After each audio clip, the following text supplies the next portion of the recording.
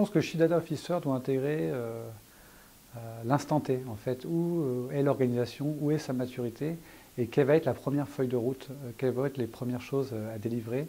Et quand on dit première chose, c'est idéalement dans les prochains trois ans, mais surtout dans les, prochains mois. Donc je pense qu'il faut être très clair avant d'avancer sur quelle est la situation, euh, vers quoi on veut aller et quel est le plan moyen et court terme. Attelons-nous plutôt à nous concentrer sur le, cœur de métier, donc comment utiliser la donnée pour le cœur de métier, et, donc se dire ben, je vais d'abord me concentrer sur euh, aider euh, les abonnements ou aider la pub. c'est plus simple comme priorité que d'utiliser la donnée pour identifier des nouveaux métiers, des nouveaux produits, des nouveaux services. Ça c'est côté prospectif, c'est pour plus tard. Chez nous, euh, j'ai d'abord reporté au CMO, ensuite au Chief Digital Officer. Euh, l'intérêt de reporter un Chief Digital Officer, c'est que c'est un centre de gravité, euh, on va dire, neutre, et qui a aussi la stratégie des moyens, dans la capacité à produire et à livrer des projets.